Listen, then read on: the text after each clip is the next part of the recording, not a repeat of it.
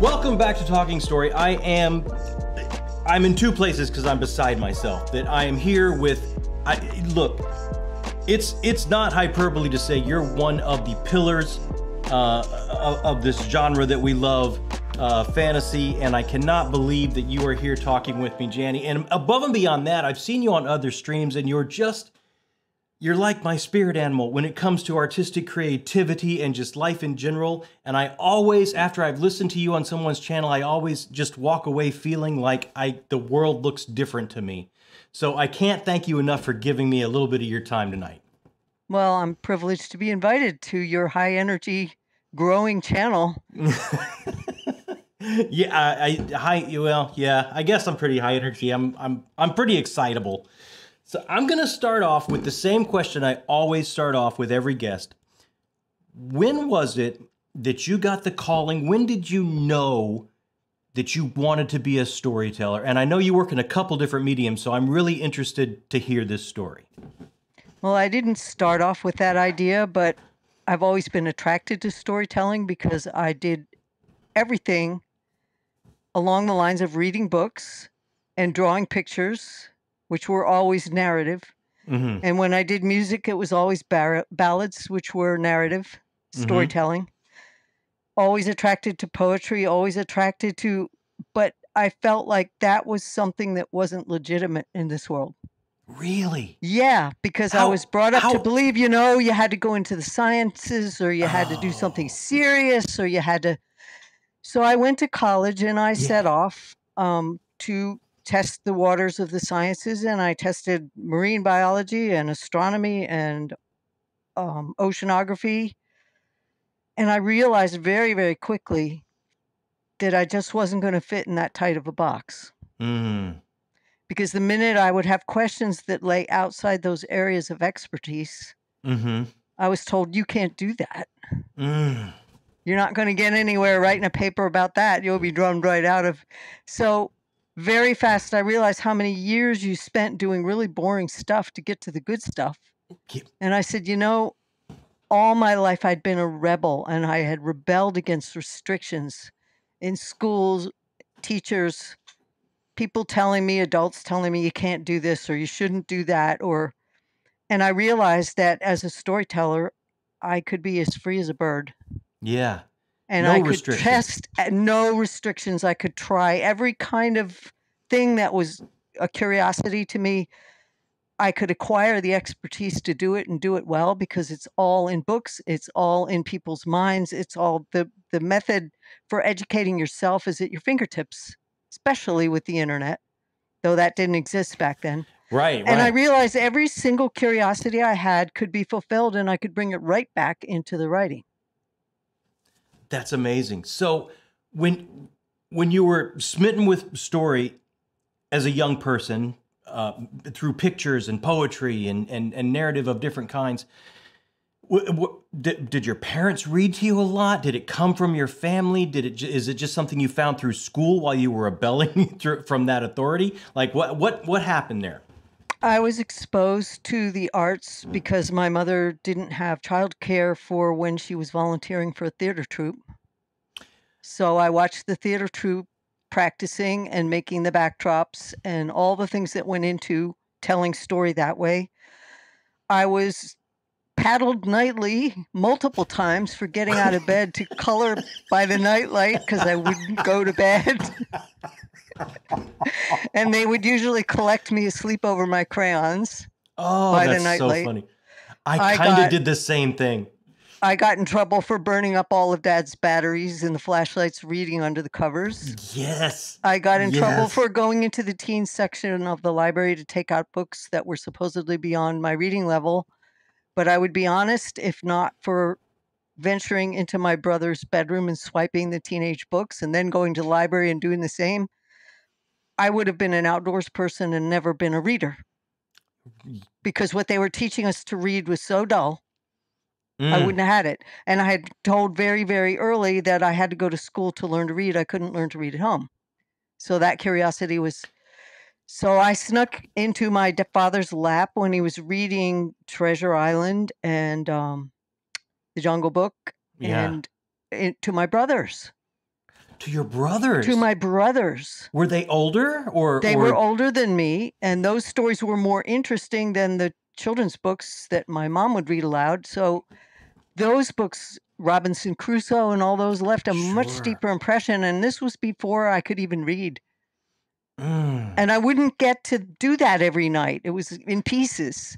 So I guess imagination had to kind of fill in. So right. So already you were working to fill in some blanks mm-hmm. there. And then my you... grandmother worked as a recruiter for a private school called Ogontz School, and there was a camp that ran during the summer, and it was a very privileged camp. And at that camp, we got to go, me and my cousins, on scholarship. And so I got to be exposed to all kinds of things that I wouldn't have been exposed to, including poetry reading and poetry mm. competition poetry reading two nights a week. Where you read out loud? We were split into teams, and about six of us would read solo, and then eight of us would do a choral reading. And we were um, schooled a lot by my grandmother, who who had a love of poetry because she was married to a professor who wasn't my real grandfather. He was my step grandfather, and um, they were friends with Robert Frost. My oh, grandfather oh, wow. had a book signed by Robert Frost when he died. Wow. So she instilled that power of language and what poetry could do. And some of it was very boring, I will admit to squirming in the chair.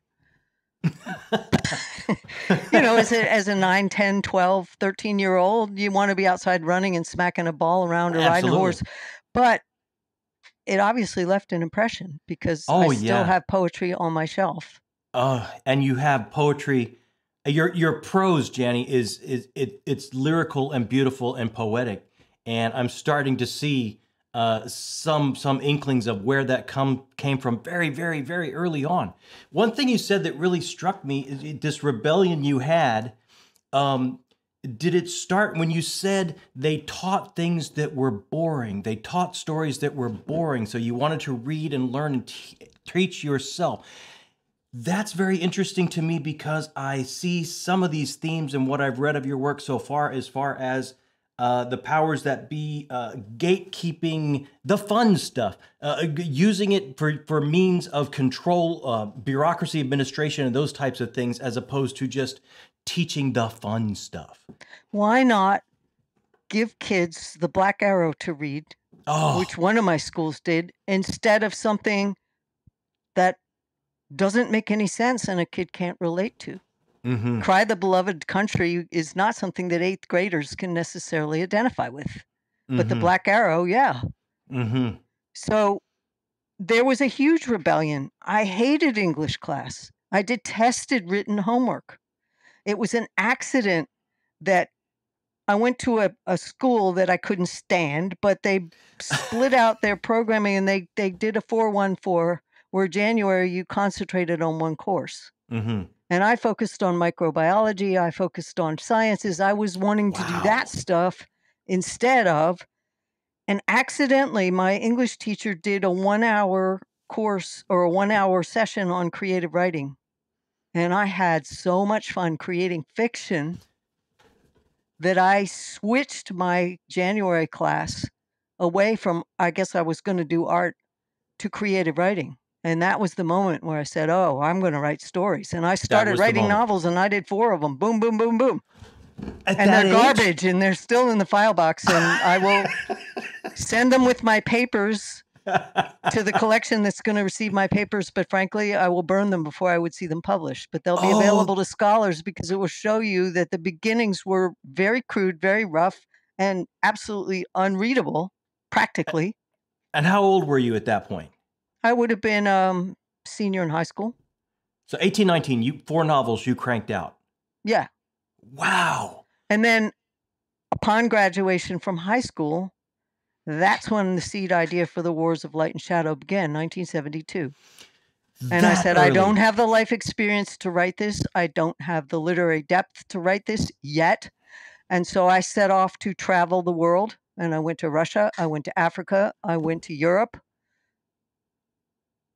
so I traveled on a shoestring and a dime. And then I also set out to get experience that I knew I would need to write this. I sailed offshore and I gathered all the skills I would need to crew on small sail vessels off for a scene that did not occur until Destiny's Conflict, which is book uh, 10. Wow. Oh my God. So you, okay, senior year, you have the epiphany. You're smitten with story when you switch over to creative writing. And from there, you basically live your life filling the well of what you would need to tell this magnum opus that is coming to an end later this month.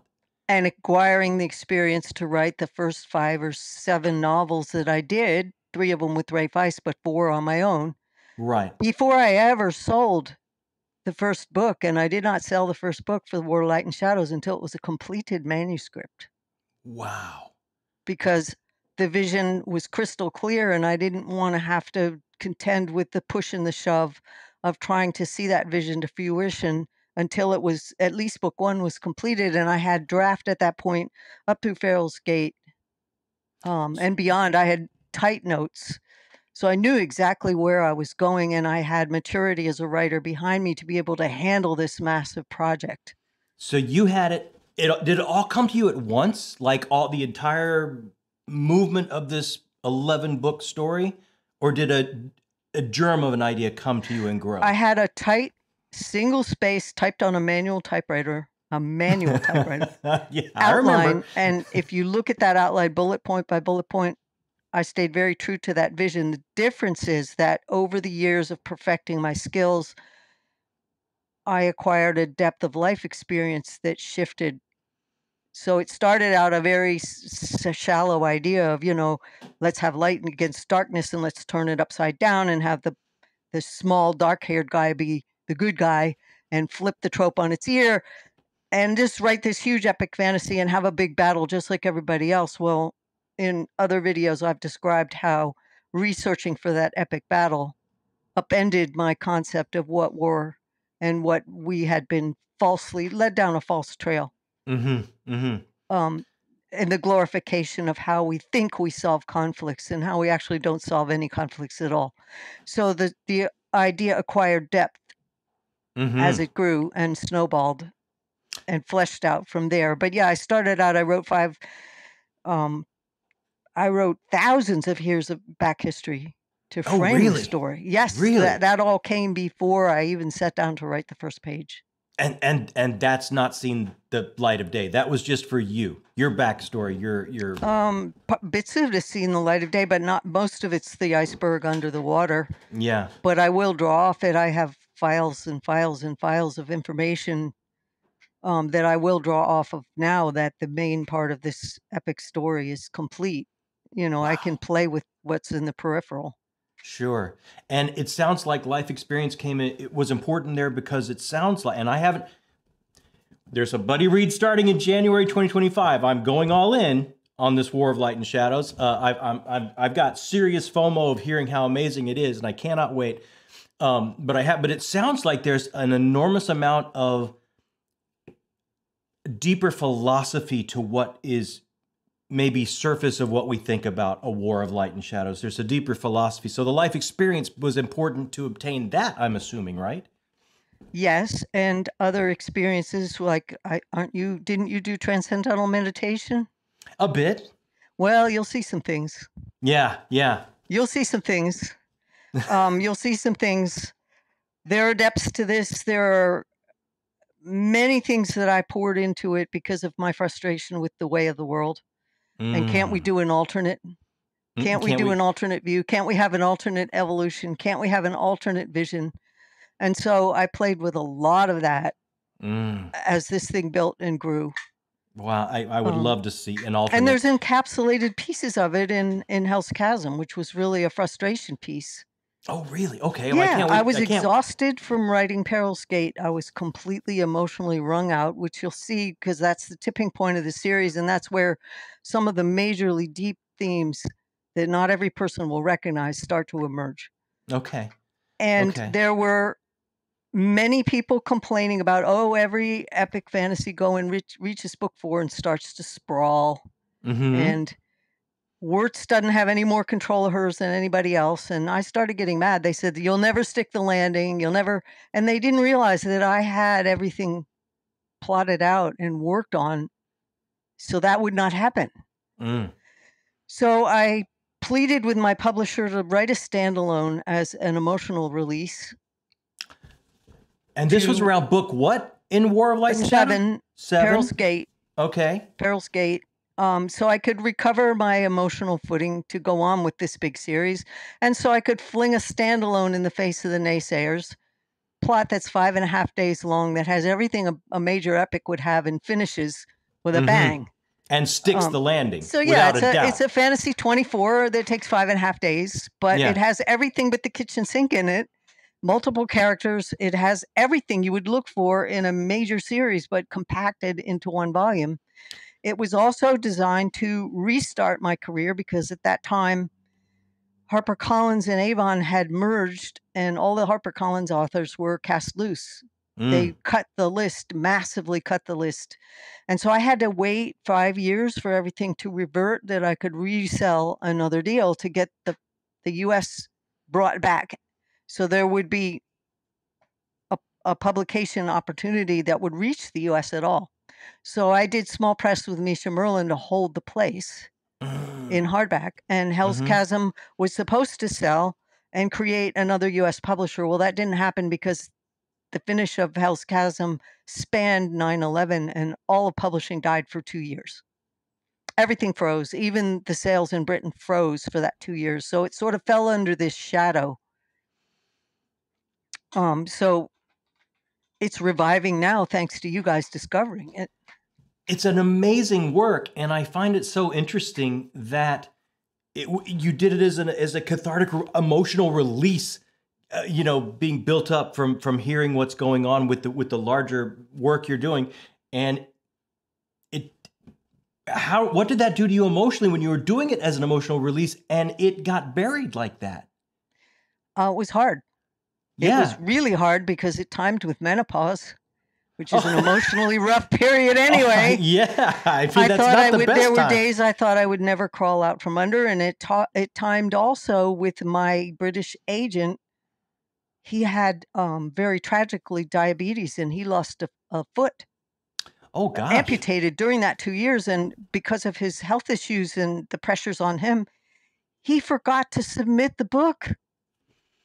And I thought my British publisher had stepped off and written me off. And I discovered two years later, after two years of agony, that it had never been submitted. And the British publisher was led to believe I had stopped writing. Oh my good gosh. In the meantime, in the background, I was in a fury of I will not quit and I will not give up, and there will be finished books piled on my agent's desk and if I die with them unfinished, they will be there completed, waiting for their moment because, you know, Evangeline Walton went through that. Mm-hmm. She's a very well known writer that Betty Ballantine resurrected because she did a book called The Virgin and the Swine in 1933. She had an idea for a Theseus, and it never went because Mary Renault sold her Theseus. So mm. she was shadowed out by that, so it never sold she wrote more books and they were yellowed manuscripts in a drawer. Oh and when gosh. Betty Ballantine did the Ballantine Fantasy series, she discovered these unpublished Evangeline Walton manuscript. And when Evangeline Walton was 80 years old, those books saw print. Tears were pouring down my face when she got acknowledgement for those books. She won a World Fantasy acknowledgement for that. But yeah, it just so, you know, I learned a very hard, grinding lesson that the only person who can stop you or make you fail is yourself.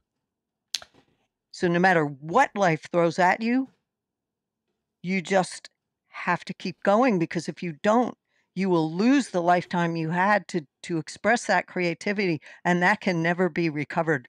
That's that is the true forever. loss. The time is gone. And not only a loss to the artist, but the audience right? That's right. I mean, That's... I'm hearing this thinking we're just enormously lucky as an audience that I'm starting to hear that thread from a very young Janny Wurts that would dig her heels in and uh, rebel against authority. And now it, that's all the fuel you needed at this point to dig your heels in and go and rebel against Constanza's if these opinion. Books stack up, rebel let them stack against up. the algorithm. Rebel yeah. against the failure of the low advance, rebel against the bookstore death spiral, all the things that stack against an author today. The entertainment industry is extremely cruel. Yes, but art is outside of time, right? It, it is. Will, it, yes. Yes, and and oh, the artist is the one that says I pass or I fail. The artist is the one that says I give in. The artist is the one that says I can reinvent myself and keep going. The artist is the one that can say I'm going to finish this series if it's the last thing I ever do. Yeah. Because it was designed to be a major work. I could not recover the half a lifetime it took to develop it, and I wasn't going to piss away the half a lifetime it was going to take to finish it. Yeah. So here Bravo. we are today. Here comes here comes Song book of the Mysteries. Yeah. Wow. Um, finished book. It is it is a reality. oh yes. It's yes. here. Yes. You know what I think the first thing when I see that cover, Janny, and I see what's behind you, and I want I don't want to get too much further in before I bring this up. You, again, you're a extremely accomplished painter illustrator. This is a second medium you work in. You did the cover, I think all the covers for this series, correct? except for one British cover that I was literally buried under too many too much work to do. Don did it. Oh, Don did it for he you. He did the um the original cover for the British edition of Fugitive Prince because they had decided to split the book into two, and mm. I suddenly had to do another set of covers, U.S. and British, for the new book. Yeah. Yeah. For Ships of Merior and Warhost was split in two. So I had to backstep and do fill in those covers. And at the same time, I had resold Cycle of Fire trilogy and I had to redo all the covers for those. Oh wow. And at the same time I had to do Daughter of the Empire. oh so I was God. just completely Your dance card was full. Yeah. And so right. I said I just can't fit the British cover. And so Don luckily stepped forward and did that one and picked it up. So well, you you you definitely kept it in the family there. Yes. Um, Are you definitely. now? Uh, correct me if I'm wrong. As far as an artist and illustrator, you're self-taught there as well. Like, how did this happen? When did this come about? Fill in the blanks for me on it's this. It's really simple. I grew up in Andrew Wyeth and Howard Pyle country. Mm-hmm. And the Brandywine River Museum and the Delaware Art Museum had all those magnificent yes. paintings for Treasure Island, for Marooned, for the Black Arrow, for the White Company, all those incredible books that I'd grown up listening to my dad read to my brothers. Those and I walked in shared, and yeah. I saw those paintings. They're big. Yeah, yeah. Mind blowing. And uh, Maxfield Parrish was a Philadelphia artist. So mm-hmm. when he died, there was a major exhibit of his work in the Philadelphia Art Museum, murals and books. And so nobody ever told me you can't write and draw because these guys did it before me. Right. So when it came down to you can't write and draw, that was a rebellion too, because at that time, Conan was huge. Mm-hmm. Frank Frazetta, the genius, was on every fantasy book cover, and I will yeah. never denigrate his genius. It's absolutely brilliant artwork, mm, but frankly, yeah. muscle-bound heroes and tits and ass were not going to work for light and shadows. Yeah, we're yeah. talking a hero that's a tiny little guy. He's five four, five six. He's a little guy. He's not a muscle bound. So I said, no way do I want this series to come out with a Frank Frazetta cover. Sorry, he's a genius. It would have sold a million books, but it doesn't suit the story. Mm. And the women in that book were not running around in bangles and, and breech clouts, half clothed. so I said, I'm going to have to teach myself to draw well enough to illustrate these books. And I had played with drawing stuff, but if you saw my early drawing skills, they were not up to the task. Mm. No way. So I set out to do it, and practice makes perfect. Yeah. So this was a journey again that that is in service to this massive story you had in your mind. Pretty much. Yep. But you see, I had the luck or the the smarts to go to conventions Mm-hmm. And at that time, who was hanging at conventions? Don Maitz, Michael Whelan, Carl Lundgren, all of the greats that kicked off the golden age of science fiction painting and fantasy mm-hmm. painting. Star right. Wars was coming up, Indiana Jones was coming up. I could go to those conventions and hang my crap early attempts, and I mean they were crap. They were crap. Yeah. Right yeah. next to a Michael Whelan, right next to Mhm. a Carl Lundgren, right next to the uh, Alan Lee and all these famous illustrators, and go, babe, you got a long way to go. Home we go and draw some more. Were So- they open and generous to you? Were they helpful to you? Mostly, Um, yes, they were. They could be uh, incredibly honest. go back to the drawing board. Sure. or this sure. is, you know, some of them were unvarnished. This is a piece of crap.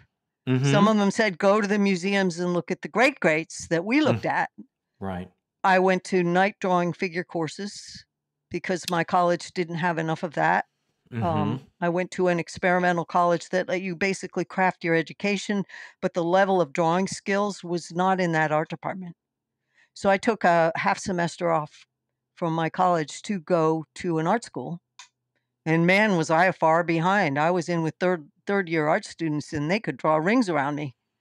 So it just kicked my butt and made me stretch and push and stretch and push until I began to hang, and, and suddenly the work didn't look so far behind these guys. Then I started dragging a Mm. portfolio around New York, and it still took a couple of years right. to get my first job right. Wow. because you're going up against the guys who do this every day. So you're splitting your time 50 50 writing, doesn't matter. You're going against the guys who are specialists. And to get a jo- cover job, you're kicking another guy off the job. mm-hmm. or you're stepping in because the guy they want doesn't have time. Exactly. Exactly. And it, one thing I heard you say, you they the guys can't you can, they'll tell you the guys can't write and draw. Or was it more difficult and I'm and I know the answer to this already, but I want you to touch on it a little bit. When you're out there dragging your portfolio around, uh, going on these journeys in service to this massive story you have in your head, Tell me about some of the obstacles, hurdles you have to pass over just from not being one of the guys. Oh, there are a lot of them. First problem that you had was the number of sheer hours you had to put into developing the skills. yeah, You could not do this with a full time corporate job. yeah, And really quickly, I realized if I step off and get that easy pay and the corporate job, I'm never going to be free of it. yeah. It's Yeah. not going to happen. And that's time lost, right? Forever. forever because you'd never break free of it. You would never Yeah. kick it. Um, so I went without health insurance. I went with a an apartment in a carriage house where the toilet froze, and it was boiling hot in the summer, but the rent was cheap. And Mhm. it happened to be on the property of an author who could give me the example of what the business looked like. Yeah, Daniel P. Mannix was a writer. Wow. He kept wild animals. He wrote for men's magazines. So I had a professional writer right there, and I rented his carriage house for cheap rent and froze my butt in the winter and boiled in the summer. But it enabled me to freelance. Now I could not freelance as a illustrator right away. I had to do uh, paste up for type back when Mhm. paste up was a thing. I had to do brochures for businesses Mm. but I could earn a pretty good freelance wage. I went without health insurance. I went without fancy food. There were some weeks where I was eating eggs from his barnyard and graham crackers and cucumbers from his garden. Okay. I should compare. I should compare my what I ate when I lived in LA. it's Yep, very Yep. similar. Well, if you really want to do this, then you make the sacrifices to do it. I was getting up at 5 a.m. to clean stalls at, at boarding stables mm-hmm. for the extra pay. Yeah. Um, and then I slipped into um, exercise riding to scratch my riding itch. And I know that you know horses, so you love to ride. You know what? You'll do anything to stay You on do a horse. anything? Sure. Sure. So yeah, I couldn't afford a horse, so I rode other people's and showed them. But I gained a whole lot of experience. Um, I couldn't afford riding lessons from the best, so I went as working student. mm-hmm. Um, top-notch Olympic people were the ones who taught me. Wow. I got it by exercise riding other people's horses under their instructor. Mhm. or learning from the people who were learning from them or saving up pennies and pennies and pennies and then going to like one lesson yeah, from the very yeah, best yeah. guy and making that last for months. Yeah. So, you know, all kinds of ways you can cut corners to get the experience that you need and live on a dime. Yeah. So that's exactly what I did. And, you know, I didn't, I couldn't afford to live in New York. So I got on the train and went to New York and came back in one day, or I camped on somebody's carpet. Other artists, you know, can I crash on the floor at Rowena's house, please? You know? yeah, been there, been, been there. there. Yeah. So you do what you have to do, and there are other people who are who are working their way up along with you, and and you're working right alongside them, trying to break in. I remember mm-hmm. going to a convention where there were five of us with major deadlines, and we were given a suite by the convention. It was like artists were given this gorgeous suite by the convention right. so to get it's the like artists you... to go to their con and bring all these beautiful paintings. We all had deadlines, so we threw everything off the marble tabletop, and we're using the marble tabletop for a palette. All right, and five of us are painting cover paintings into the night at this convention with our paint all over and scraping it off with a razor so that you know clean up yeah. the next morning wouldn't see it. And you know the amazing but thing to be painting elbow to elbow with the other with those people, those people, sure. And it's like that's why I always ask that first question of when it hit you to tell stories because you know thinking back on my journey and what I did and so many of these things are so similar. You have you know that you have to know that everyone goes through it, right? It's a calling. But thinking back on it now, like wasn't it the best of times? Like wouldn't I mean some of the it best was and the worst of times. Best and the worst of but times. you build a community even when you're next to a guy that's telling you that your drawing is crap. Yeah. You're still going to be pushed to step beyond your limits again and again and again until you realize those limits are completely elastic.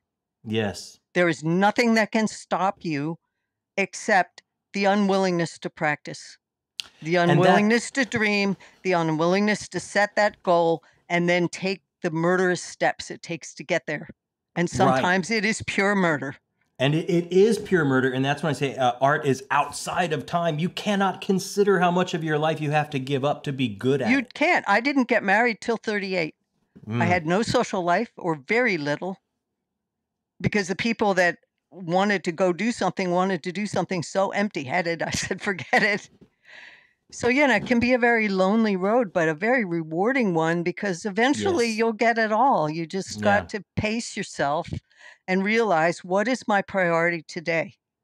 Yeah. And what will it cost me to shift that priority? What will I give up if I'd rather stay home and paint or I'd rather get ready for a horse show tomorrow rather than mm. go out with this dumb dodo and and or punch and drink, right? Yeah, yeah and so you know i don't want to be merciless but i really had to parcel what's important to me this moment and i ended up with a fairy tale marriage because i was willing to wait for it. Mm. wonderful wonderful. I gotta bring up i was such a rift war fan back in the day. I remember remember when there was bookstores and malls. I remember my mom taking me to the mall running to the bookstore when the new ones came out and i just did a reread of the Empire trilogy, the second trilogy last year after joining BookTube. And I was not, I did not remember how impressive that trilogy is. I've got to talk to you a little bit about that trilogy because it to me it was just lightning in a bottle. And I, I want to know how I was it always did Raymond always have the idea of he wanted to have a trilogy that checked in on this woman's life at three different stages and he needed you to do that? Where where did this partnership come from? It was a little messier than that. Okay. In that he wrote magician and in his telling of it and i hope i get this right. In order to make the Tsurani not take over the Isles in just a couple of weeks, mm-hmm. he had to invent this convoluted political system that you had to be in their culture to understand why this didn't happen because they obviously had the superior might. Sure. So he painted himself into a bit of a corner. So then he had the idea that he wanted to tell a story from the empire side and he wanted to have a woman rise through this male dominated culture Mm-hmm. So his idea that he began with, the proposal idea was it will take place on Tsuranuanni and it will begin with Mara being told her father and brother are dead and she's being pulled out of what amounts to a nunnery and a lifetime vow that isn't quite sealed yet. Right. And it will end with her getting the highest honor that society can bestow. So, so that's it, what he had. That's what he had. Okay. And no middle. And he, Don Maitz had illustrated Magician, and through Don Maitz, Don introduced Ray to my very first novel, which was Sorcerer's Legacy, that had a female lead, and mm-hmm. it's a mm-hmm. political intrigue. Mm-hmm. And Ray read it, and Ray fixated on the idea that he wanted to collaborate because he says he couldn't write a teenage girl. Mm-hmm. And I was very dismissive of that because I said, Ray, write it and get over yourself. Yeah. And then I'll I'll read it, and if you get it wrong, I'll kick your butt and tell you. Mm-hmm. So this went on for two years. Wow, two years. Yeah, because I wanted to write War of Light and Shadows, and I had four novels at that time, and I had stuff under contract, and it's like I didn't want to go do this other thing in this other world, and you know I didn't want to do it. Mm-hmm. I'll be blunt, I didn't want to do it until finally the story got me yeah. the Machiavellian yes. thinking that would have to go into developing the culture and developing the political intrigue. And so finally, when I caved in, Ray and I sat down and we developed that outline like a lightning in a bottle. Literally, what mm-hmm. became daughter and servant happened in about four hours. Mm, you're kidding me. And then I was severely t- taken to task by certain people in the industry telling me it would ruin my career Oh yeah. To collaborate, I shouldn't do this. To share. There were reasons that they had, and it it sounded logical from their perspective. And I was all torn up, and I because by then I was in love with the story, and I went to my then agent, who was Virginia Kidd. She was pretty well known in the field, and she said, "Janny, do you want to write the story?" And I said, "Yes." She mm-hmm. said, "Write the story." Bravo! absolutely right. But yeah, I was confused enough and early enough in my career to be confused, and I got the sure. right advice and took it. So Ray and I did did the series, and by the time we got daughter going, we realized it wasn't going to fit in one book. So daughter mm. and servant was the original outline. Mm-hmm. And what happened there was Ray Ray's Darkness at the Sethanon made the Times list, and so all of a sudden, Servant became a hot property because it wasn't sold yet. And we realized there would be a third stage to this tale because Mara could not become what she did without yeah. stirring up certain factions. I'm not going to spoil the story. Yeah, yeah, that yeah, would absolutely. become her enemies. Absolutely. So that's how Mistress came about. Mm. And so we had a nice fat auction. So where Ray actually cut his advance in half and then and half again to pay my share to write wow. daughter. He took a huge hit. Mm-hmm. It paid off because we sold the second two books for a very healthy amount, and nice. here we are today. Yeah. Um, so it became me... somewhat of a classic because at that time, the setting and the the female lead were not particularly done. And then I got the reverse happened when I started Light and Shadows, and people go, "Oh, you start out with such a male-oriented cast," and I'm going, I just wrote a book with Ray with yeah. his female lead. Get off it, you know. I can write anything. yeah, you can do both. And if you think that you're going to look at this series through prejudice eyes, it's going to kick your butt yep. as you read the series. Will okay because well, yeah, I can already tell that from it will kick your butt. Hell's Chasm. I can already see that from Hell's Chasm. It will kick your butt. Yeah. I, I just think the collaboration, and I know. Look, I'm very interested in the collaboration because uh, I'm in the middle of one now, and and writing is such a, a, a, singular solo type of thing generally, and it's hard to work a collaboration. And you guys somehow, it's the best of both of you. This Mara is uh, it is a classic. It is an absolute classic. It will it will always be on my favorite list. I cried at the end of each of these three books, and not because you know different type of emotions hitting you different way but the transcendent of the human spirit in this female in a patriarch's world that is answering the call of destiny to change her reality just like young Janny, digging in her heels, not accepting what this world is, but accepting what it can be. And in different spaces of her life, whether it be young girl, whether it be someone looking for partnership and love, whether it be someone at the on the she did it to save her family. She did it all for, and it's like I'm telling you, there aren't there is such an amazing amalgam between the two of you. It just knocks me out. It was a match made in heaven in many ways because Ray's strength and mind blended very well. But yeah. also, there, as in any collaboration, there's going to be moments when you knock heads. And here's yes. my advice to anyone where that happens. Okay, I want to hear this. That's when you get off your high horse and you kick over your imagination and you find another way when neither one of you will give ground, I want it this way and you want it that way, find that third way because it's going to be better than both of them. That, but you know, artists are, you know, that ego that comes in, it's that's not the easiest thing to do to let go. It isn't, but if you can't let go, don't collaborate. Yeah. And mm. and in this case, Ray had the franchise of that universe. So the upshot was I had to give, but I'm sneaky about it because I wasn't going to give unless we came up with a third way that was better. you wouldn't give unless you got a little something. And him too. I mean, and so yeah. that's in many cases that's why some of the magic happened was because there was always that third way. Well, I just have to tell you, I read it as a young man. I was such a fan of, of the Rift War. And I remember series, the second trilogy because it's like, oh, cool, we get to see the other side of the rift.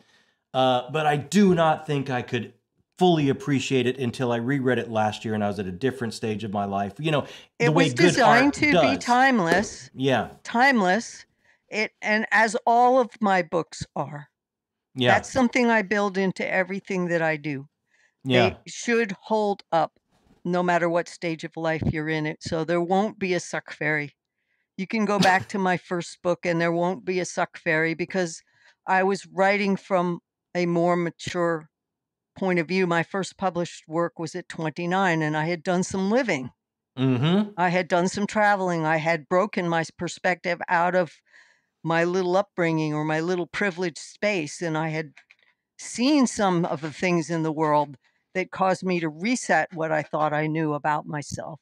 Mm. And so that blends into the story. And the only reason, honestly, that you saw the Empire first was the advance was bigger. and often the marketing follows the advance. And in some ways, what I was striking to do at the time, particularly in War of Light and Shadows, was not quite along the traditional vein. Mm-hmm. And it's taking until now for that to be recognized because the readership that the series requires needs to have a little bit more life experience under their belt. It's not going to work necessarily for a 13 year old person mm-hmm. or a 15 year old person. Sometimes it does because some of those readers are more aware mm-hmm. or ready. But yeah. honestly, it wasn't written for to be a YA. Yeah. It wasn't written to be the traditional classic fantasy, even though it starts wearing the trappings of that. Those balloons are going to get popped and popped hard. And so people who are expecting that might hit a wall because they're trying to skim and they think they know. And the story and is they, actually yeah. following a different perspective than they so it takes a little more focus to realize that. Once you do, you're you're all in. You're yeah. all in. And Hell's in. Chasm does the same thing. You yes. said yourself how many times it morphed out of what you expected it to be. Yes, and I'm going to get to. I have look. I have a Patreon, and this is a question I have from a Patreon, and I'm going to try and squeeze it in here while we're on Empire. Right before I move on, since the Game of Councils was first, and it is. If George ever cannot finish Game of Thrones, Janny, would you step in and finish this for him? Because the Game of Councils is every bit as involved and amazing as the Game of Thrones. I gave George a quote for his first fantasy novel, which was a Game of Thrones. And I read a manuscript stack that was this high over Christmas week and deferred my finish of Fugitive Prince mm. to read that book. So, George?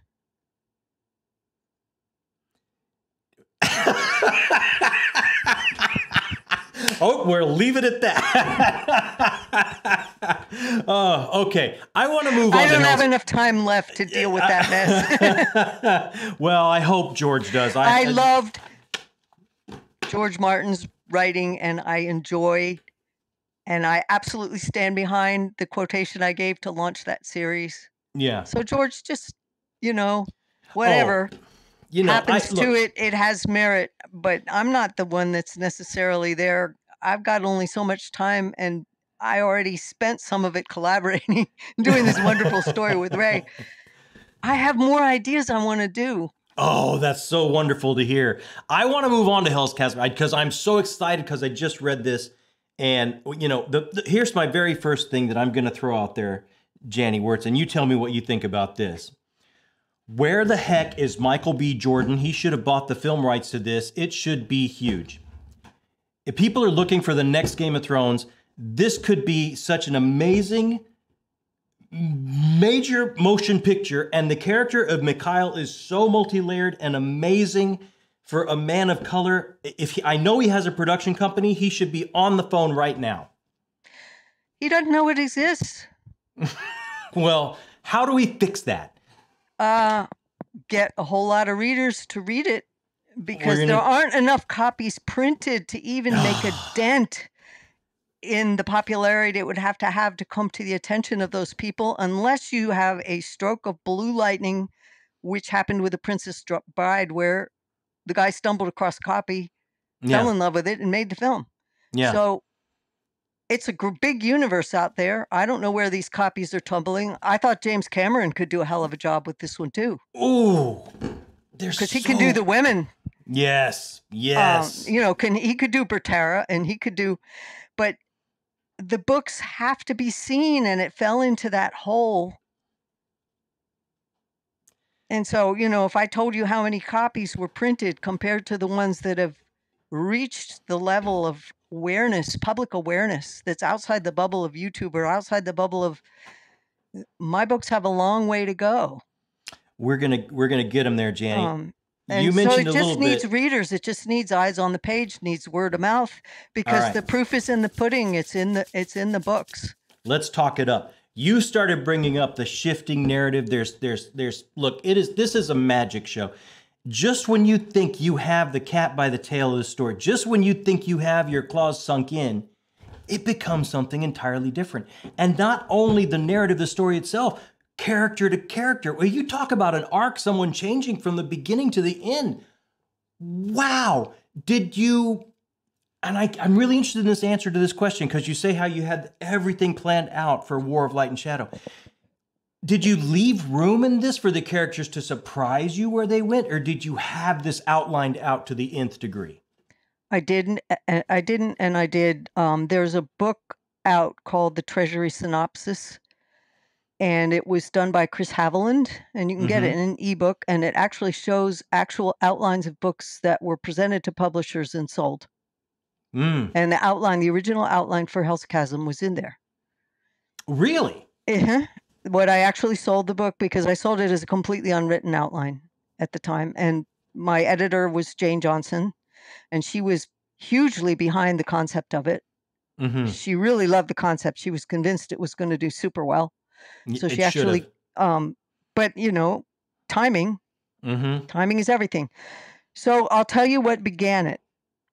The first seed of the first idea. I tend to do this. I'll throw things that don't fit or are disparate ideas into one box and shake it until something pops out. I love the that. first idea was um, the Tevis Cup, which is an endurance race that's run out west. You said you were familiar with it. It's yeah. a real race with horses yeah. where they do 100 miles in 24 hours over a yeah. mountain in very challenging desert terrain. And not yeah. all the horses are going to make it. They have vet no. checks along the way. So it's an extreme endurance race. And I said, what if a team of horses and their endurance was the thread upon which the fate of a kingdom relied. So it began with that idea. Then I tossed in a little bit of things that frustrate me about the world, which one of the themes is racism, makes me really angry, and I can't get people to see around the corner sometimes. I live in the South. Mm-hmm. I do search and rescue, and I hang out with people that sometimes I hear things. And I've worked with people. So a lot of my life experiences hit that frustration. And so I tossed a little bit of that in there. And I tossed the idea of class Mm-hmm. and where there's a class disparity or a regional disparity where people don't hear each other. Mm-hmm. And actually, I didn't start out with race. I sat down to write the first chapter, and in walked Mykkael, and he was who he Yeah. was. And I said, "Oh my gosh, it demanded attention. demanded. It had to be written that way." And I realized if I write it this way, um, there are going to be certain markets in in the United States that will not take this book.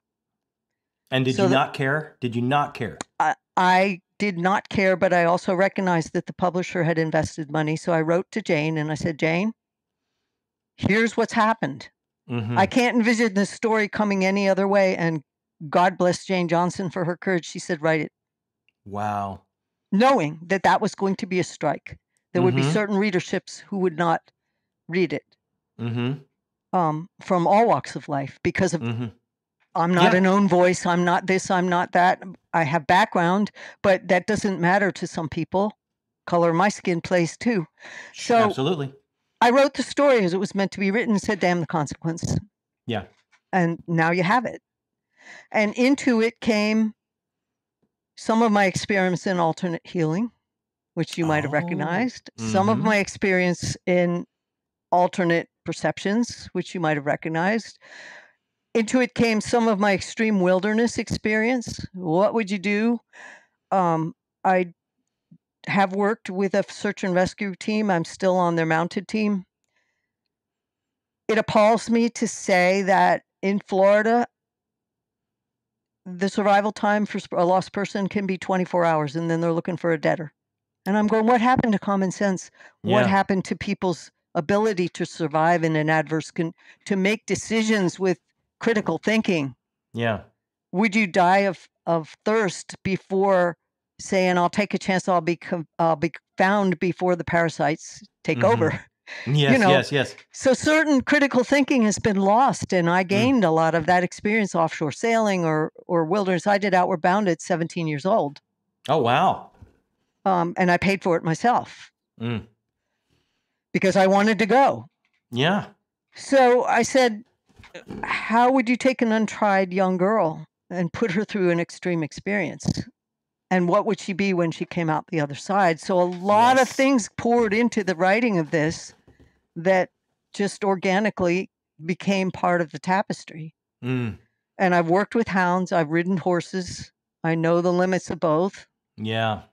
Mm. Um, I I work with flanking st- search and rescue dogs on scent. Still not right over some of that, Janny. You, you, you. Yeah, I, I'll, I'll tell you. I agree with everything you've said, and then there's one thing I will add that just struck me time and time and time again with each character in this book, including the non-human ones. This is an amazing story and book of sacrifice, self-sacrifice. It, it, it just it, it how best to describe this there's the evil, the insidiousness that's going on in this kingdom is able to hide and flourish by placing itself in the bureaucratic author- authority. It's by the single individual people that are willing to dig in their heels and have a code and sacrifice that there's a chance at, at hope. but not give up their individuality in the beginning. Oh, no, absolutely. and not. also not to judge by surface appearance, because if you look at the cast of characters in Hell's Chasm, every one of them plays a role. And if Mhm. any one of them had failed, the whole Hmm. house of cards would have come down. So it wasn't only reliant on the hero, it was also reliant on the young girl that has to recognize her place in her nation. Well, it had it all the courtiers that were involved, the ones that fell short and the ones that shored up the ones who fell short. And they weren't the characters you would have expected. Outward Bound taught me that. It taught me that you can take the most shrinking, cowardly person in the batch. Never underestimate them because in one instance, they're going to be the one that's going to step forward and save the rest. And they're goes, going to surprise you. Right. So you can't go by your surface impression. Sorry, first impressions are often wrong. Exactly. It's those ideals, uh, those ideas they have of the world, these these courtiers, and again, I'm trying to, to work around where there's not spoilers. They have ideas of the way society should work and class systems should work and uh, and who, the, who and, and, what foreigners should be listened right. to or not. But now, but now those get sacrificed when they are able to recognize how what's really going on. Those type of sacrifices that these things that might have been ingrained in them, they're able to let go of. And what a beautiful world if that could actually happen every now and again. Well, I told you a lot of what sparks me to write is my frustrations yeah. with the pettiness of the real world and what happens if a character can transcend that. And it isn't just going to be the hero. This isn't the typical, you know, the hero leads them all out of trouble. No, it's no, it's a collaborative effort, and everyone no. has a something small and but critical mm-hmm. that must be contributed. And so, I try to look at people as what critical thing are you contributing that I might overlook because I'm careless or prejudiced or blind or arrogant? Mm-hmm. And so mm-hmm. we see all those characteristics in the characters break down under pressure. Yeah. Where they're forced to recognize or forced to slam their mind shut. Yes. And refuse. Yes. So and it goes the, both ways. The challenge is which way are you going to step forward? And as Philip Chase so beautifully put it, what's your legacy going to be today? Yes, yes, and that that young royal Anja, that that young princess you were talking about, the sacrifice she has to make at the end, realizing what her kingdom needs, um, was was beautiful. Not only the human, but some of the animal characters, the loyalty the sacrifice they had to make. Warhorse. Uh, Did you yes. ever watch the movie Warhorse? It yes, broke I, me. Yes. Oh. It broke me. And how many times in history have the animals paid the price yes, paid for human price. conflict and and not and they're they're special they're they don't i wanted you to feel it the horses will give their all and the yes. dogs will i wanted you to feel that you and can kill your horse or kill your dog yeah. on something so simple as a one day search mm-hmm. if you're not paying attention and how circumstance can force the sacrifice of the animals and that goes so unrecognized. Yes because the loyalty and they won't give up. They won't give up. You know those those animals those they're, Your they're going to give everything. will give you anything you ask them for yeah. and they'll love you no matter how you abuse them. Yeah but yeah. i wanted you to read this book and i wanted you to feel it. Oh and and believe me i'm still not quite right over some of it there was a couple scenes that truly struck me, and I'm interested so much in it now, even more than you said you had to call the publisher and tell them, hey, this is happening and this is changing. There's some truly, really uh, racially charged scenes in this book. Um, and I'm thinking too uh, that, happen, and I don't want to give them away too much, but uh, there's a moment where a man is made to strip and lay on a cot because you know and it's like there's then there's a moment where uh, there a whipping happens but there's so much going on. There's so many layers to it. And i just you know a lot of people would not even of course there's the humiliation of, of the authority and being pushed and just being used like that. But then there's other layers here and it was going so deep into character. Where did you find because a lot of writers wouldn't have touched that. Where did you find the fortitude and the strength? Like, you know what? I'm I'm going all in on this. Well, I've always been a go all in kind of person. I either did a genius stroke or I went and blew both feet off with an Uzi. I wanted to show the difficult choice because Taskin is the commander of the Royal Guard. He lives yeah. in a very prejudiced society. He is a letter of the law kind of guy. He is yes. ethical. He is absolutely rigidly ironclad ethical. Now, what do you do to get your subordinate yo yos in line who yeah. are not so ethical, yeah. who are not so open minded, who are not able to step out of sight of their prejudice? So, I wanted to really twist in the conflict that that commander was under to disarm the, the, the racial prejudice yes, the best yes. way he could so that he had unity at mm-hmm. any cost. At any cost. So I wanted you to see the decisions that he had to make, and they're not good ones. No. But the reasoning that he had and the reason that he made, he was actually on Mykkael's side. Yes, and the and, but the and, letter again, of the law and the, the security of the realm relied on him keeping his subordinates in the yoke and in line and how was he going to do that? So he's faced with some brutal choices and i wanted to show that as a fellow commander but an underling that Mykkael mm-hmm. understood that. Yeah. And and here a sacrifice of Mykkael to understand that and take it as part because of because the bigger picture is yes his Mykkael his, can't yes. escape the straits that he's in. No. The people who are born into a racial society can never escape the constraint of that instant identification. They yes. can never shed that. And you know, I'm sorry, white fragility is a thing because oh, you yeah. watch the people right now getting exhausted, fighting against what they perceive as the world's injustices right now. And you know what? Those people that are caught on the wrong side of racism, they have to fight the same fight day by day by day, generation after generation after generation. And you know what? They don't lose heart and they don't flag and they don't quit.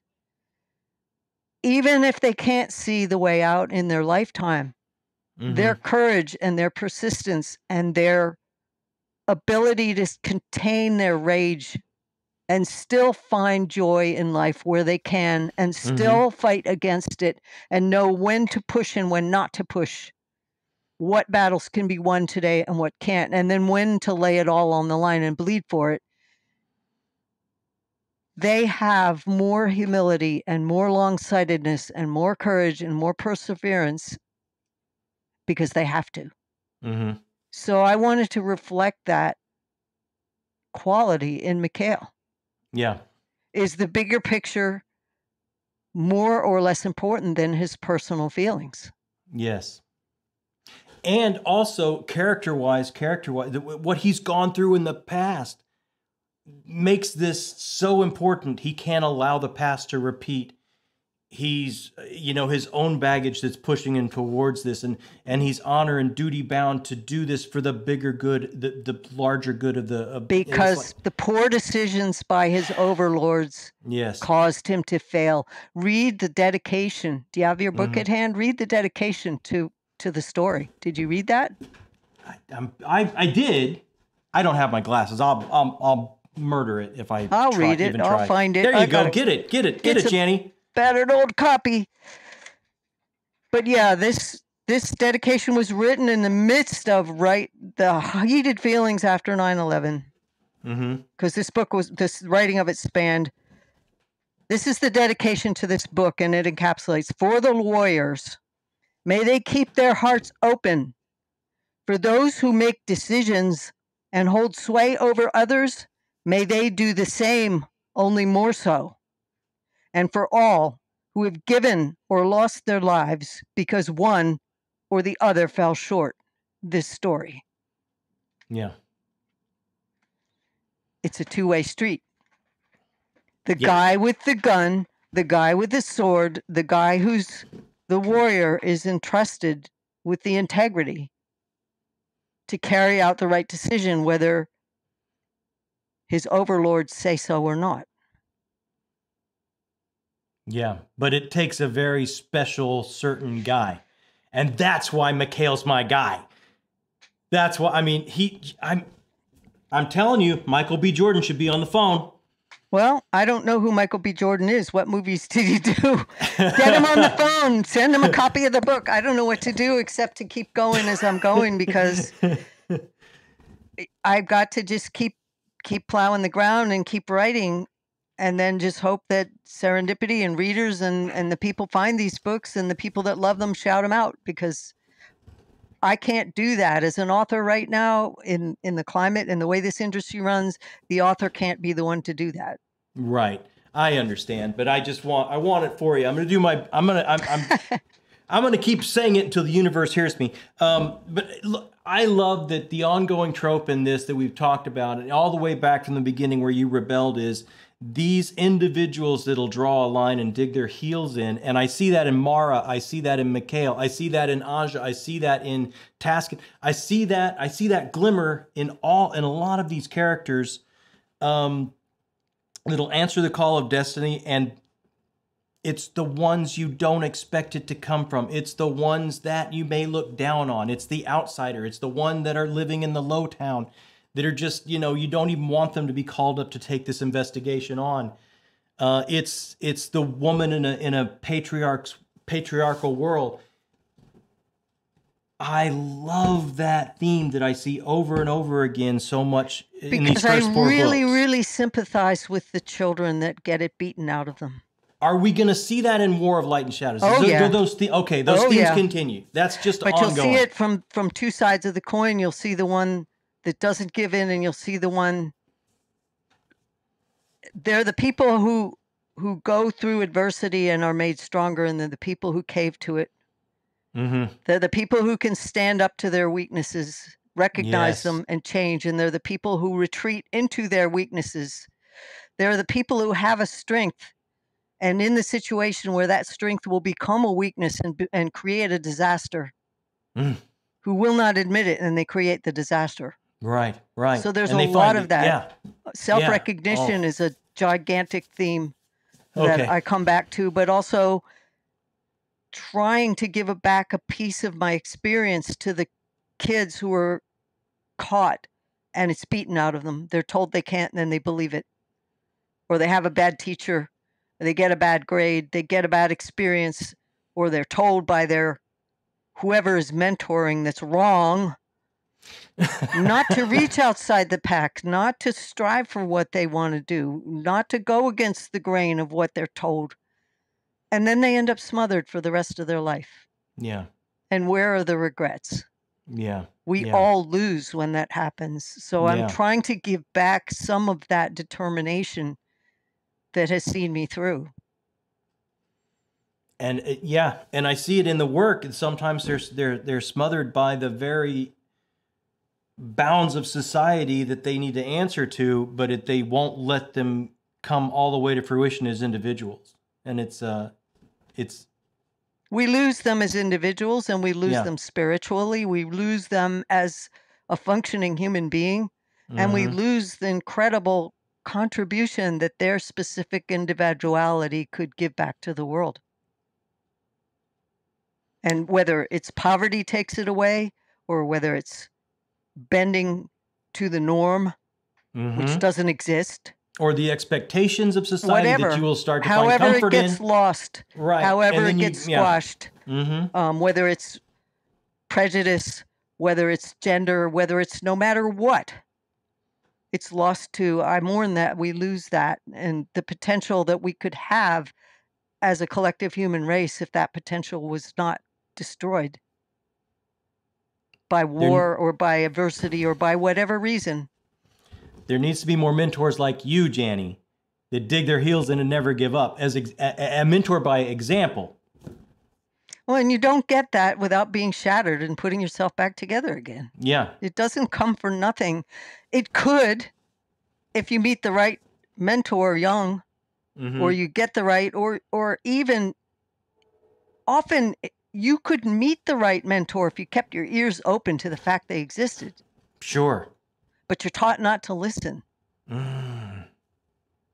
So I think in many cases, when I was shattered, I would find or hear the right voice because I never quite gave up listening for it. I always had this piece of me that said there's got to be something better. Mm. I'm telling you, every time I hear you speak, Janny, I feel like I understand the world a little bit better. Before it's I move a, on, it's an unlimited world, and we're yeah. taught to look at it as outer circumstances limit us. Our inner circumstances do not limit us. And in this book, what does the hero say? How often, it's Jussaud says it, how often does our imagine lack of imagination mm-hmm. create our defeat? Your imagination is bigger than any circumstance in this entire world. So if you can't see the way out, imagine it. And if yeah. you can't imagine it, admit that you're too small to imagine it and say it exists somewhere right. and wait for that somewhere to pop up. But if you're right. not looking, if you say that somewhere doesn't exist, then you stop. I know listening. that I, I corresponded with you and I said I wrote myself into a corner and I do this often on purpose. Yeah. There's a certain scene in Hell's Chasm where I created an insoluble problem for these you characters and I did not know how they were going to fix it. Yeah, I didn't either. and there was one obvious way and I crossed that off the list right off the bat. Yeah. And I lay awake night after night after night going, I'm going to run these guys up against this insoluble problem. And I don't know how I'm going to write up my way around it. I don't know how. Up until the day before that scene was written, I did not know how it was going to solve. But the fact that I refused to believe there wasn't a solution forced my brain, my subconscious, to pop another route. And, and this listen. is what people do over and over in their lives. They say, I can't do this because, and they list all the reasons not. Mm-hmm. And they don't leave any room for lying awake at night for six months to let your brain figure out a way around the problem. Yes. Oh, I've been there so many times. I've been there so but many times. But we're not taught to do this. I, I, I can't get that moment to work. I can't figure out this character motivation. I can't, I can't, I can't and it's like you just you it's like a scab you won't stop picking at. I refuse to. I'm pick at it and up. walk away. Pick at I'm, it and walk away until finally. But we're not taught to problem solve, and that's how it's done. Yeah. Not settling for nothing. Yeah. Not Instead, accepting. we're taught all the doors are closed, therefore they stay closed. Well, I'm fascinated by what you said because it came to you, and you say people don't listen. And it's interesting sometimes you don't listen to yourself. You don't listen to what the universe, call it what you will, is going to give you if you just let yourself Your mind can it. solve it. You just have to leave it free to do that. Yeah. Your mind is a dog. You say, insoluble problem, go fetch. And you keep throwing that ball and you keep throwing that ball and you keep losing that ball until mm-hmm. finally your subconscious and your human creativity of imagination will deliver. But that is admitting there's something bigger than what you can think of by logic. Intuition and intuitive problem solving is not logic. The logic will work in hindsight, but intuition leaves the gap mm-hmm. and then makes it work backwards. So we forget that feminine side of ourselves that says, I don't have to know. I'll know when I get there. Yeah. Instead, we hammer on it with logic. And you know what? There is no room to add pi onto a ruler. okay? and that's the patriarchal way, right? To hammer it with logic. Right. As exactly. opposed to just, you just let me just stop. And I look, I my look, eh, my I, I'll get Amy up here. She'll tell you I'm the worst at it. And I, you know, I, I am still I'm still young enough to learn new tricks, and I, that's what I would love to learn and get better at. Well, the imaginary numbers are bigger than the regular numbers. Yeah, the logic can unwind a regular number, but it can't. It can't grok pi. Forget it. So if you realize your mind is like the imaginary number, mm-hmm. and you try to tackle it with logic, all you're going to do is strap it down and torture it to death. Yes, yes. One more thing I do want to, and I don't know if there's a question in this or not. Maybe it's just I just want everyone to read this book. Whatever type of book you like, the story shifts so many times. You get a little bit of everything. You get a mystery, you get court intrigue, you get a bit of romance, and not only this, but the characters, as I say, shift from so from where they start to where they end up in these beautiful moments of sacrifice the tonal shifts of this book truly struck me. Now, did you set out to per to personally do like to make sure I'm gonna? I want I wanted to start a, a, a little bit like they call it cozy now. It kind of starts almost like a cozy fantasy, a little uh, little uh, a princess. Oh, not quite. It's got a few edges. It's got it's got a few beginning. I'm but sorry, very, you know, it's starting with a lame hero sharpening his sword. It's it, not it exactly cozy, and it's not exactly comforting here. Not comforting, but it starts. It starts like I knew what was coming at me. Let me. I'll say that I knew what was coming at me. I got a missing princess. I got an investigate. I mean, I think I, I think I got an idea what's coming at. Then it starts. It becomes very. The magic system becomes extremely dark. The intrigue starts to build on itself and build on itself and build on itself. Um, the world starts to expand into a metaphysical reality beyond the physical reality. We start to have moments of, of true horror spread through there, you know, as far as some of the villains and what they do and the magic system and how it works were these tonal shifts purposeful or that that's just where the story took you some of them were just where the story took me and some of them were the characters themselves you start with a rigid character like the duchess of Fail, and she doesn't sacrifice but she has an epiphany mm-hmm. where she has to recognize outside of her class barriers so just throwing the whole mix on the table and throwing this massive threat into the middle where the people I wanted a small country that was very homogeneous like Switzerland where the outsiders would really stick out and where they live this pretty isolated bucolic and settled existence and yeah. this massive threat that they can't possibly handle right and then they don't trust the very one person who might have the experience to deal yeah and won't recognize so i just let all the marbles run down the chute and you know, there's a certain amount of trusting your intuition to deliver. The comic character that walks on, you know, where the opera won't happen till the fat lady sings. Yeah, yeah. She was a piece of humor, but she had a signal role to play. Oh, when absolutely. you look at what she does. So mm-hmm.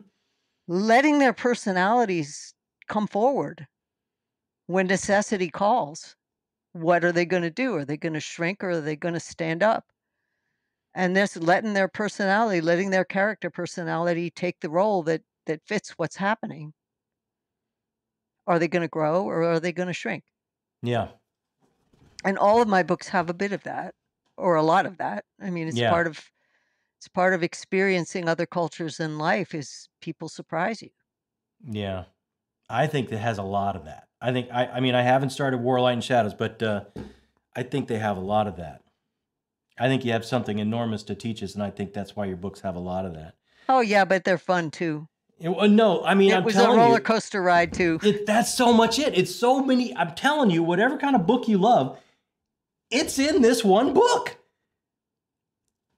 It can be your favorite, no matter what kind of favorite you have. It's it's it's a it's an amazing piece of work. It really knocked me out.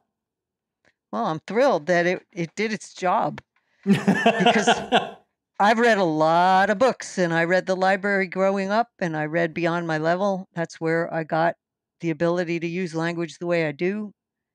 And the one thing that makes me infuriated more than any single thing, not sticking the ending or landing your your reader with a cliffhanger. Yeah. Cheating.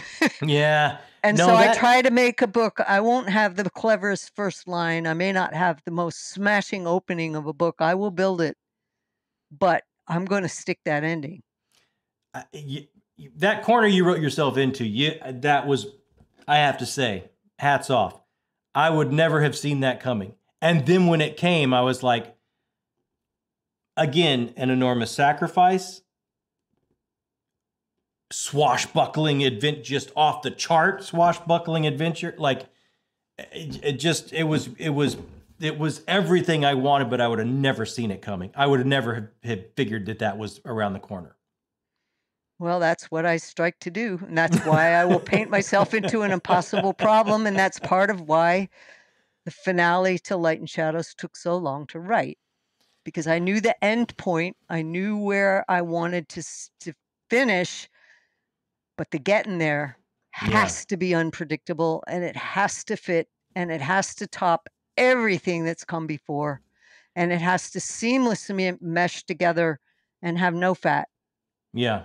And so engineering that finale, engineering that entire 11 book series that should have It- been 10 because Ships and Warhost should have been one volume. Should have been one book. Um, so it's, it's a a life story work. in five arcs, and um, it took an enormous amount of work behind the scenes.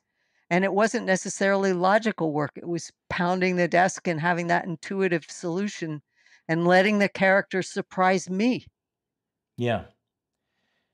This is what is amazing to me, Janny, just talking to you tonight. It's a life's work in that you lived your life to get there. The things you learned, you lived your life to get there. You And lived your ins- life. Yes. And the insoluble things. I knew where I wanted to take the finale of this book on day one. Yeah. And I knew I did not have the experience, not the spiritual experience, not the physical experience, not the first clue how to pull that off. I had to learn it as I went. So I created the challenges in life that were going to bring me to that finale. So by the time I got there, I would have that experience and have that knowledge. And it's led me to some pretty amazing things. What a journey.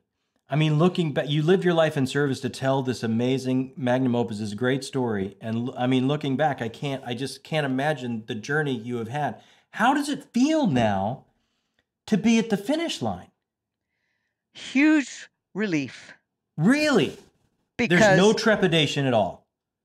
No, because I None. got there's more to come. I've got other ideas.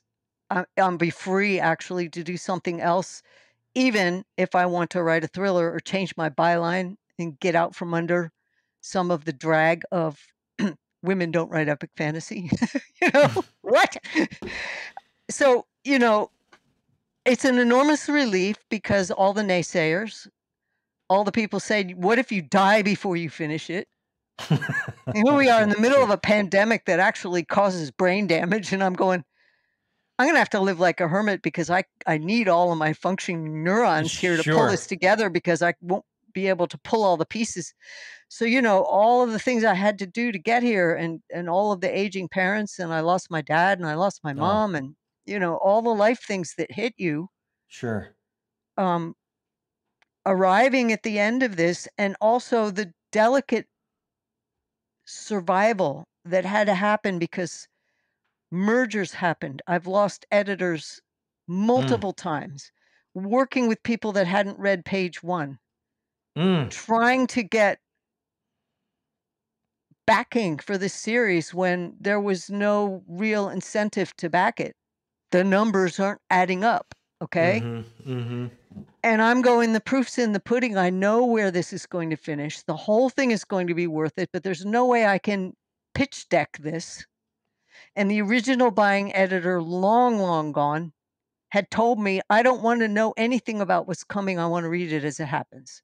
So I'm sitting here with this massive project with a publisher with their blinders on, not understanding what I'm even writing. I don't want to know. And then actually bucking the publicity that would have made the empire go this is a bit of a different animal there will be Yeah. crossover readers but what i was striking to do with wars of light and shadows is not the same thing Mm-hmm. not at all Mm-hmm. so trying to wrestle the the let's just throw it out there and rely on your past success with ray to carry this Yeah. and readers who are 15 years old going smack and hitting the wall because it wasn't Yeah. really written for that sure. I feel like the the booktube community has rescued this book and changed the narrative because they are getting what it's really about and they're placing it in the company of the other books which will bring the correct readers in and that is gaining momentum and is beginning to happen and I can only hope it will continue. But I had to go on for decades with no assurance it would ever happen no assurance it would ever come together no assurance that the right readers, except a very small niche group, would Mm. ever find this book because the press runs were too small yeah. Well, and didn't even have a still are chance. too small. yeah. Yeah. We've just wrestled audiobook for volume one And the number of people who say, I can't read epic fantasy because I'm an adult and I have a life and I don't have time unless there is audio. Mm-hmm. So effectively, the marketplace, certain facets of it were shut down. Yeah, yeah. They've, they've changed. They've moved. They've morphed. Couldn't yeah. change my byline because I'm in the no. middle. Sure. So when when publishing went through these massive contorting changes, I was stuck on this track and I couldn't step off. So I'm extremely happy because when I finished that draft, I just knew I'd stuck it. I'd nailed it. I had nailed it. Mm. I got everything that had to be there in there. And now in seven more days, right? Yep. It's going to be out there. It's going to be on Yeah. the loose. And I'm tremendously excited because in some ways, all the adversity and all of the lack of editorial oversight that I had to work through and do so much, it's brought this vision to to fruition with a, a purity of concept Mm. that early fame or early attention or too much control over it might have bent it awry. Oh, oh, think about how the public industry has changed. Like if it was on, if it was a rocket, right? There would be so many fingers in that pie. Well, there telling- would. I mean, the internet was just getting going in the late '90s, and I saw a lot of it. I just had to stop my ears and rebel by writing Hell's Chasm. Say, look. I can do this. This is not Yeah. out of control, and especially when the tipping point of the series is at Peril's Gate, because that is where the huge departure from traditional fantasy is going to, and it will have been there all along. Just your prejudices and your assumptions would not let you see it. and that's book five, Seven, seven, five, and Okay. Uh, let me All see. right. Um, well, one, two, and three should have been two. So four, five. Yes, book five, book five. Okay. All right. So five or six. One of those. It's I'm the gonna middle ask- of Act three. I'm gonna, you've said a couple times, and I know you've heard this, and I know it's com- categorically not true. Women can't write epic fantasy. Now, help me. Other than starting of War of Light and Shadows and and bringing in some other Janny standalones that I know there are a couple that I can do uh, before 2025, and I'm trying to line up some other booktubers with me uh, so we can make a bigger thing. And I'm hoping you'll speak to us as we go through this Sure. Okay. What are some of the women I need to expand my horizons? I'm going to write them down right now. I, Robin Hobb is already on my list. Read Carolyn Cherryh's Fortress in the Eye of Time, Okay. and there's sequels, and she never got a chance to finish. The, it's framed as two trilogies. She never finished the second one. Okay. She that series died when HarperCollins merged with Avon and never got picked up. Um, Read Inda by Sherwood Smith. Okay. At least the first two volumes. Okay. Um, more recently, Jenn Lyons, though I only read her first book, but I gave her a very nice quote. Okay. Um, and understand that women get erased. Back when Ursula Le Guin was writing, and she was using a very Taoist foundation, there were there was more acceptance because science fiction and fantasy were niche. Mm-hmm. So when C.J. Cherryh got her start, there wasn't this misogyny that is now. Not at all. It was much different. Women were coding, they were gaming, they were writing, and they were in the middle of it. And then the internet took hold, and then things went more mainstream. Star Wars made a big hit, and then George Martin made a big hit. We brought in a lot of the major prejudices or or outside attitudes as the genre expanded. We picked up some of the fleas. But if you think back, Mary Shelley wrote Frankenstein at 16 years old and she invented science fiction. mm-hmm. Yes. The very first novel ever written that they could trace back was some woman in Egypt really? That- that I thousands of years know. ago. Yes. The woman who inspired Sherlock Holmes, Kate, Kate somebody, she she inspired Sherlock Holmes. Mm, Annie McCaffrey was the first woman to make the Times list. mm, whether science fiction or fantasy, depending which way you look at Pern. mm-hmm. Why are these names not out there with Asimov, Heinlein, Herbert? Mm-hmm. go do an experiment for yourself and add up the top 10 lists from all your favorite booktubers and look at the ratio.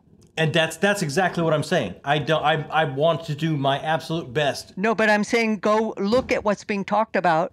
Yeah. It is 90, 80 90% male. Oh, at least 90. I bet at least 90. And then go look at reviews. Mm Mhm. How many people and me, myself included absolutely love Guy Kay's prose?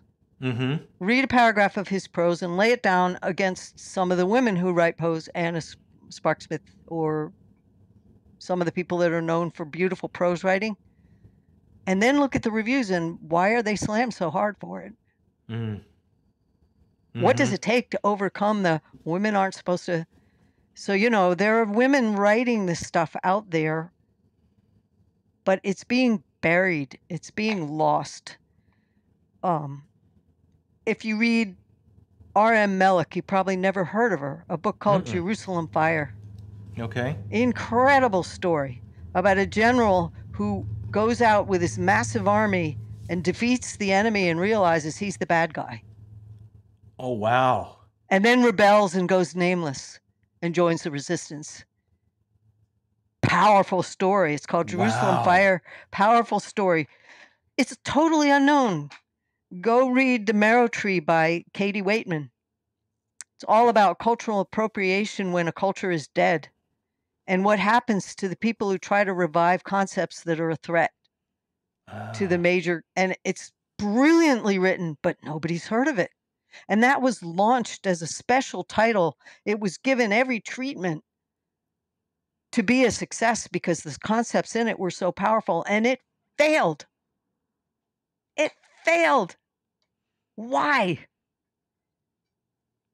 Hmm. So I don't understand, you know, why some of these books are not. I mean, you want to read a book about a realistic approach to a female warrior where the mentor, the Asian, you know, sensei mentor trains a woman to fight and says, you can't beat your male opponents this way, this way, or this way. So we're going to make you a, a, a champion archer and it's a realistic it's called the paladin it was written by cj cherryh and it's one of the most wonderful views of a female warrior and how did carolyn know how to do this? Because she fenced with male opponents who had not mm. enough people to do a pay so she had to fence a pay against men. Yeah yeah. So there's incredible read read ellen kushner's swordspoint. Okay ellen kushner. There's another one. Read judith tarr's Crown and Falcon series that is fantasy taking place in the Crusades. Okay.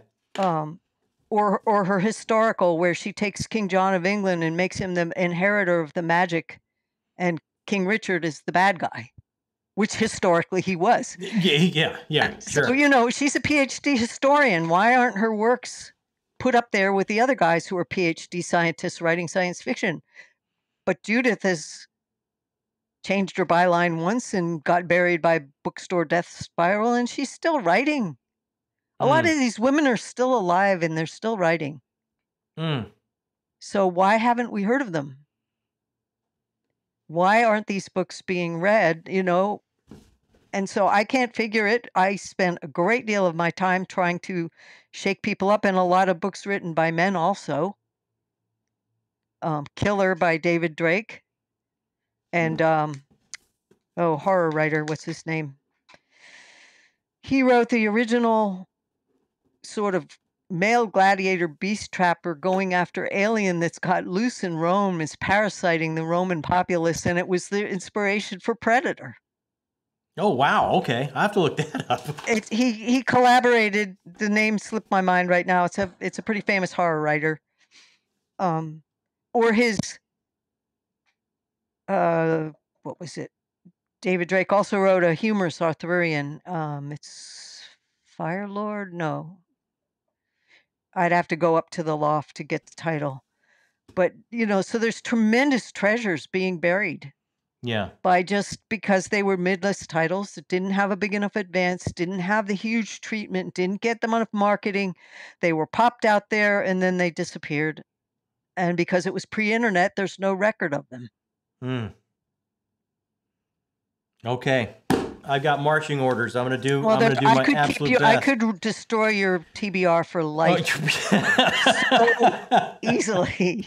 Yeah. Well, you know, it's already a mountain. I don't think you, you could. I, you know, you. It's. I've given up wrangling it at this point. I just love adding names to it that I can look up and add because you know I uh, Dragon Lord, that was David Drake's humorous Arthurian. The okay. and Killer and Dragon Lord are really, really quick, short reads. They're they're fast. I like those. Okay.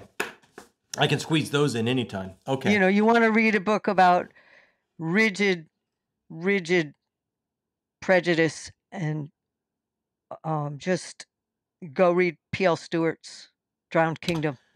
I, I, I have him on my. He's the nicest guy in the world. I have him on my he list. deal with some heavy themes in those books, and it, the bigotry that he writes about so convincingly with his character that's so flawed.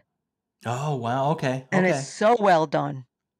Um, so I could just keep listing books and books and books. Yeah, you know the subgenre of transcendental fantasy, which Philip Chase is writing in, which an author you've never heard of, Paige Christie, is writing in her Tales of Arnan Christie. Powerful, okay. powerful books. Um, R.A. MacAvoy also delved into transcendental fantasy long before, and her books have virtually vanished. Okay. Well, I'm finishing Philip's trilogy next month. So we'll have that done. Yep. And you'll see what I'm talking about. But then read Paige Christie and read R.A. MacAvoy and go, there's a whole subgenre here yeah. that hasn't even been scratched and of course the Lord, word of light and shadows was um alan chibipo was the one who coined that term really? for okay. that series and other books fit into it and so i've been kind of going yeah there's other books yeah, on this list yeah. i'm not people, i'm not alone. people enjoy this um there are other authors who are, who are delving into this. Love it and I think they're particularly up your alley because some of your experiences maybe yeah. have been a little off outside the envelope. Uh, yeah, uh, you know, yeah. I don't think you can live in LA for ten years without going a little bit outside the envelope. So, I, I spent I spent my time there. Uh, but I, I I tell you, I love the spiritual search as a, as a theme uh, because I think that's there's there's very little that's more important than that you know, to tr- and the cultural angles that can lead into that. I've been very, very fortunate in some of the people that I've been privileged enough to meet and talk to that were not from my upbringing and not from my culture and not from my background that I was able to and so some of that gets mixed into the writing as well. Sure. Um, so I've been really lucky on my travels to have encountered some very, very incredible individuals.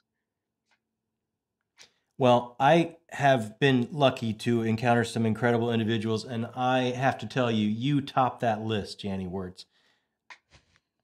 I, I can't tell you what it has meant to me to spend the time this evening that you have given me. I can't tell you uh, the generousness of your spirit, what it's been to my entire family. And uh, I just, uh, I, I just will say this. I hope this is the first chat of many starting in 2025 when we get our group together that is going to start going through of War and Light and Shadows, I hope we can tap you on the shoulder and have many, many more chats. It'd be my pleasure because it's been a very solo effort for decade after decade after decade. So finding the people that can share that experience and that I can leave a record of the insights that went into it, it's a privilege. It's honestly a privilege. I honestly thought it wasn't going to happen. Well, I, I, I look, look you here's the thing when art is outside of time that it you will be caught up to. It will happen. I know that it's timeless and i know i made an effort to make these books timeless. Hell's chasm is not locked into the current trend. It's not locked into the current lexicon. It's not even locked into the popular style of the English language that writers are using to grow, quote, make the books more accessible. I want the books to be accessible outside of time. And I stretched myself to the limit to make that happen. The prose is gorgeous. It's not, yes, it's not easily digestible when you think about Wait a minute. It, it's, it's simple if you slow down. That's that's what exactly what I was going to say people will say, "Oh, this is so easily digestible." That means, look, you can't skim it. You can't just skim through this, but you would not want to. The trick is that you want to deliver an experience. Yes. You don't want to deliver a popcorn. and, and I read popcorn reads on airplanes and on the beach or when I'm overstressed. I love them. Sure. I have my comfort reads where I don't want to stretch my mind. Absolutely.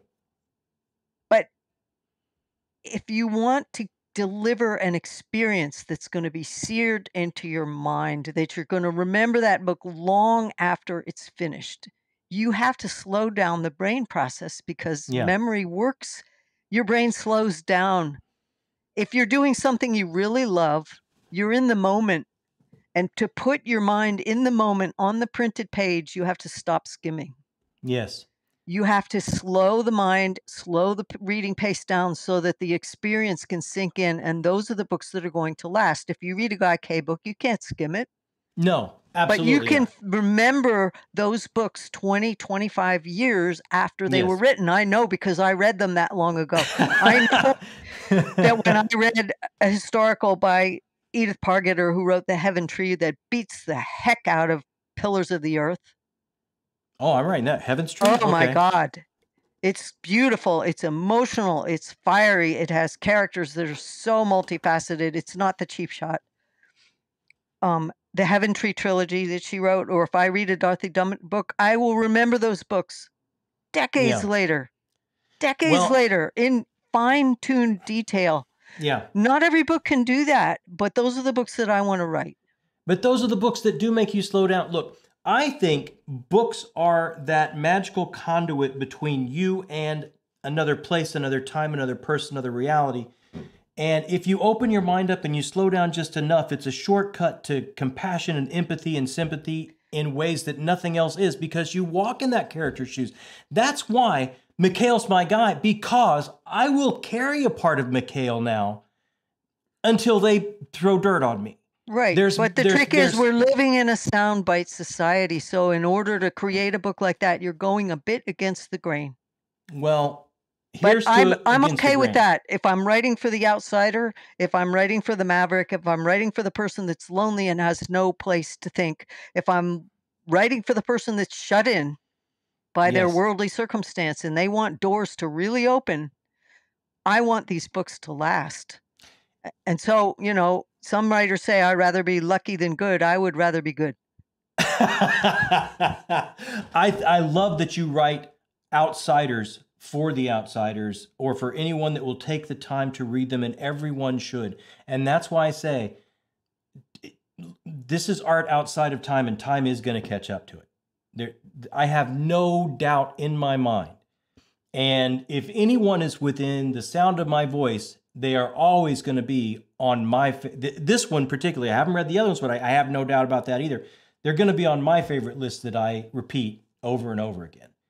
Um, so, Janny, thank you so much for giving me the time. Oh, thank you for asking me. It's truly a privilege. And if if I get to see these books take, well, I'm still looking at the green side of the grass. It will be because of the love and enthusiasm shown by this community. Honestly. Because Well, they're carrying it right now and and the connections can happen. That potential is always there. And you guys are critical to that. And I'm grateful to my last breath that you're here for me right now oh, and sharing this triumphant moment when this huge series is finally coming off the printing press. I, it is just such an amazing. I can't wait for January, and I know it'll be here like that because you know that's just how time works for me these days. Uh, but I've got I've got one taker already. I'm gonna get try get at least a couple more, uh, so we can get more and more outreach on more and more channels, and we're gonna go through uh, this series together, a book every other month, and I cannot wait to talk to you about it, and I can't wait to take this journey. Here's the trick for you I do not write cliffhangers, even in the series. The story arc of each book is going to complete and it's going to gear by the arc finishes. Okay. So expect that the first book sets the stage, the second book is going to truly hook you into the conflict and the characters beyond question. That so you can almost read that first three as a trilogy. Then you're going to be raised to worldview. And all okay. the stakes and all the factions and where they're really coming from and what you thought was their moral high ground isn't mm. what you necessarily assumed. And then you're going to step off the brink. okay, love it.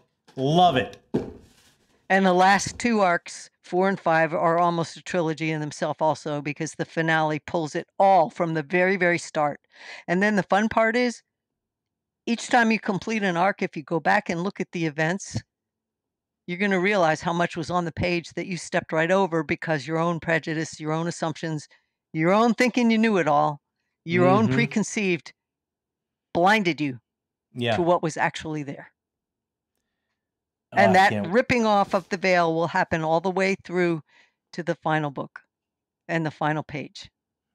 I, I cannot wait to talk to you about every step of it, if you're willing. Totally. Totally. and, you know, Hell's Chasm is a good starting point because that's kind of a microcosm. It isn't going to go I, as wide or as deep, but it's got all the makings that you'll yeah. see and I that's why I know I'm going to love War and Light and Shadow so much because I absolutely adored this book. It, it was well, such a great read for me. Thank you. That's so wonderful to hear. Thank you for your Jan- time, John. And oh, Janny, I thank you know you what? To, is it Joseph? Thank you to Joseph for being Jake, your Jakob. Um, he's right here. Fabulous technician. He'll come and, in and wave. Thank you to your wife who's keeping the dogs company. Yeah, yeah I'll go wake her up right now. Thank, thank Don for giving you up for this. Uh, I, I, I, always tell people, like uh, all those years doing theater, I know the hours away from my family and the toll it took. I always like to thank everybody that spends some time with me. Please give your family a kiss and thank them from me for giving you up for a little bit of time. I will do that. Janny, until the next time, which I hope is very soon. Until next time.